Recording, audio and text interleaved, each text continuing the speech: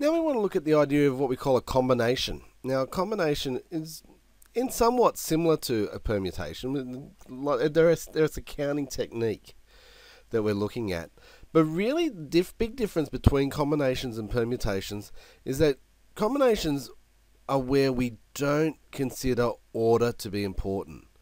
So we're looking at a situation. If you have a look at the NCR notation. Now, we've dealt with NCR notation when we've done binomial theorem last year.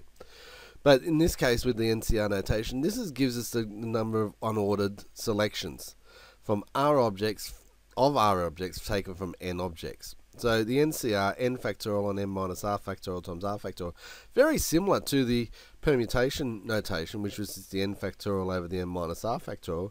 But really, we, we're dividing as well by r factorial, which is basically the situation that we're looking at because order's not important.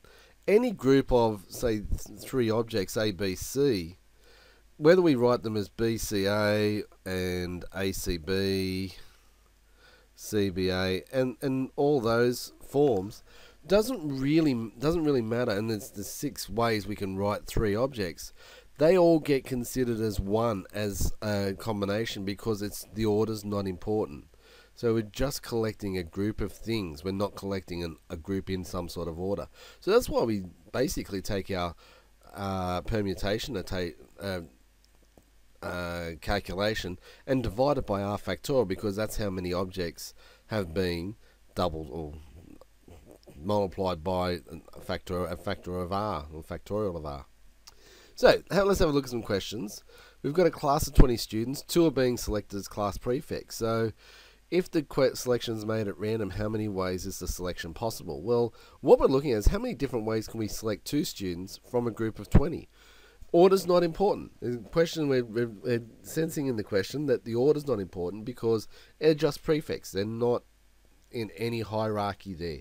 So 2C's 20C2 gives us 190. Throwing in the calculator.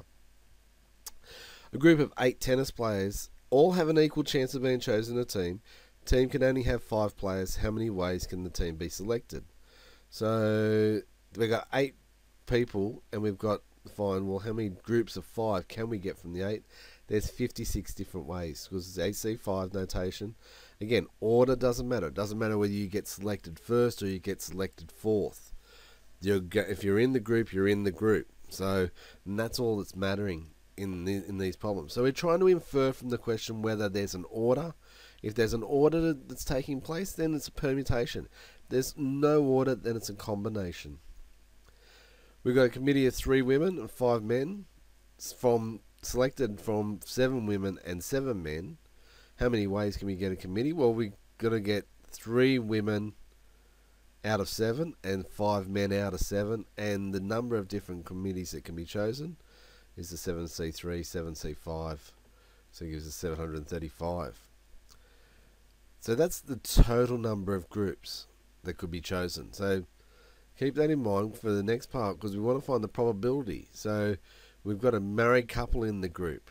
So find the probability they will be both selected. Now the way that we can look at this with our counting techniques is look at the idea if they're both going to be in that group, then the other two women have to come from the six remaining, and the other four men have to come from the six remaining.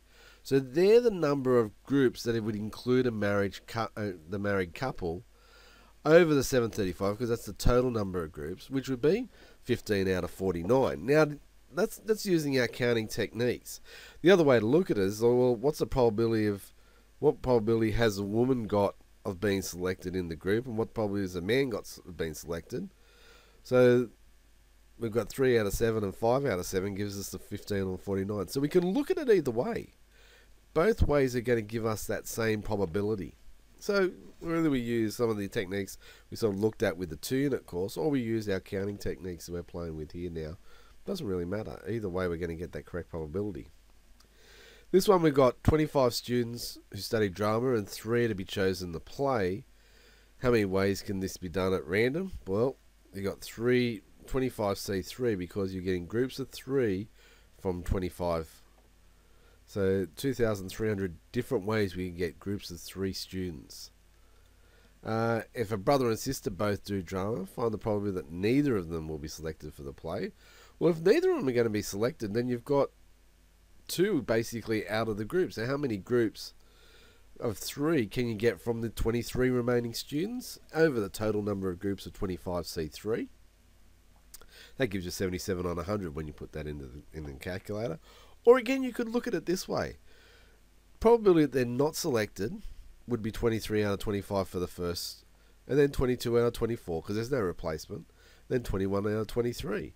Do that calculation gives us the 77 on 100. An excursion this time has been arranged for 31 students. There's only room for 20 students on the bus.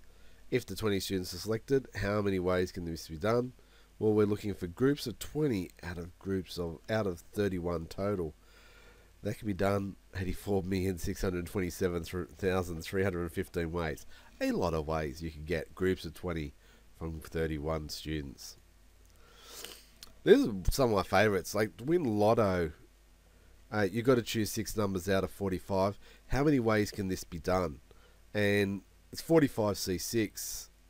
So because you're picking six numbers out of 45 and that would be eight million one hundred forty-five thousand and sixty. Compare that, and you guys might not remember.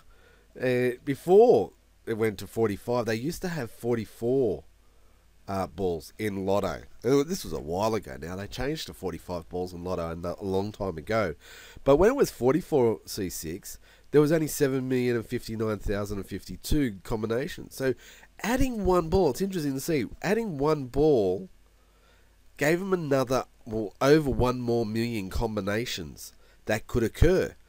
Which, that that's, that's adding over one, nearly one seventh of what they already had. So increasing it by one seventh, which is a lot by just adding one more ball in Lotto. Here's a here's a comparison of Powerball. If you don't know how Powerball works, basically you've got a barrel of 45 balls which you have to pick five from. And then you've got another barrel of 45 balls, separate barrel, where you pick one ball from. Now, you get 45. How many ways can you get five balls from 45? Well, that's 45C5.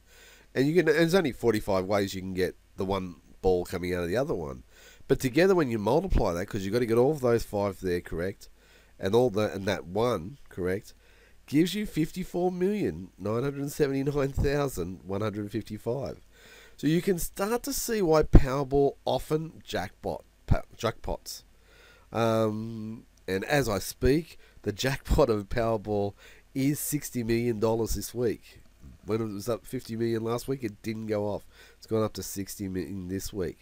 So because there's so many combinations that can occur in Powerball compared to Lotto, then it, it does have a big chance of, of jackpotting in number of weeks because, well, basically, if you you need to get at least two and a half, oh, nearly two and a half times uh, every person in Australia buying two and a half games for every combination to be covered.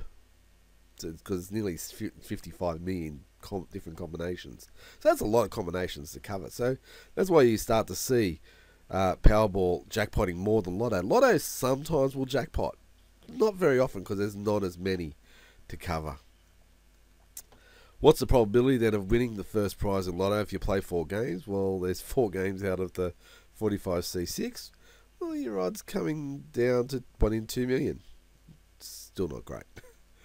Find the winning if you play 100 games. Well, 100 out of 45C6, which is 5 in 407,253 as a simplified fraction. Still not very probable. but it's better than zero. Keep that in mind. If you don't have a ticket, you can't win. This time we got 30 people applying for a special housing package. Only 12 packages are available and allocated randomly. What's the probability that a particular person applying will get a house? Well, if a one person gets a house, that means there's 11 packages left, and there's 29 people to choose from. So that would be, and the total number of people of packages, 12 people can be selected from a group of 30 there. So 29C11 over 30C12 gives us two fifths. The other way to look at it you've got 30 packages available. 12. What's the problem? What's your chances of getting? Well, it's a 12 in 30 chance or two fifths of a chance. There's a there you can see the ways of writing it from our notation of counting and our work we've done with two unit. Out of the 12 packages, 5 are in Sydney, 7 are in the Blue Mountains. If 19 apply for the Sydney houses, the rest apply for Blue Mountains. How many ways can the houses be allocated? So that would be a 19C5 because you got 19 people applying for Sydney and five, only five. So we can only get five. How many ways can we get? Five groups of five out of groups of 19. And out of the 11 Blue Mountains packages, there's seven to be uh, had there. So groups there's 11 C7 groups of seven out of 11 there, which gives us 3,837,240. We've got to get a school committee made up of five teachers, 14 students and three parents, and they've got 12 teachers, 25 students, seven parents applying. So you can see that you want 12C5 for five, groups of five teachers out of 12, groups of four students out of 25, and groups of three parents out of seven.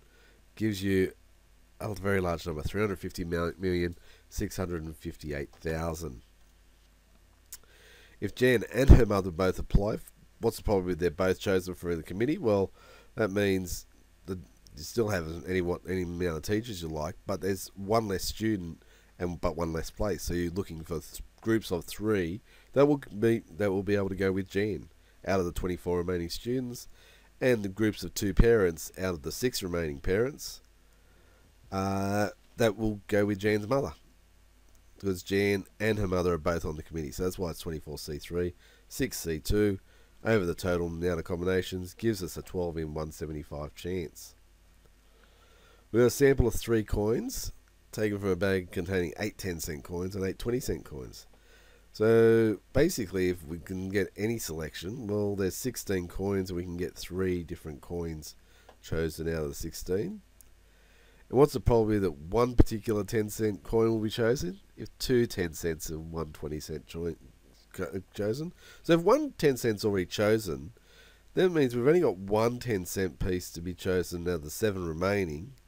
And we've got one out of the eight 20 cent pieces to be chosen. So 1 times a 7C1, 8C1, over 16C3, which is the total, gives us a one tenth of a chance of getting that a particular 10 cent coin.